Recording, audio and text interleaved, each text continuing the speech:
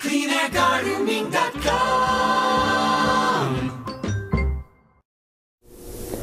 Hi, this is Lars with Clean Air Gardening. Today I'm going to tell you about another one of our green building features, and that's our Solatube natural skylights that we have throughout the building. Uh, we have about five of these installed in our space.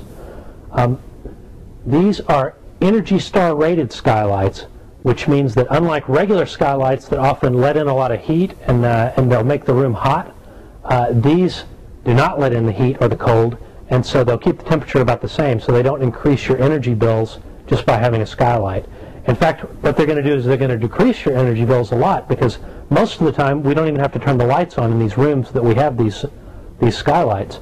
Uh, I have one in my office, and I literally never turn on the light unless I'm working at night, which is very rare. Um, natural light is a lot easier on your eyes than being under fluorescence all day, so it makes it a nice working environment. And uh, it's just really nice to be able to walk through a building uh, and get light without flipping on and off the lights all the time. Natural lighting, another feature of our green building.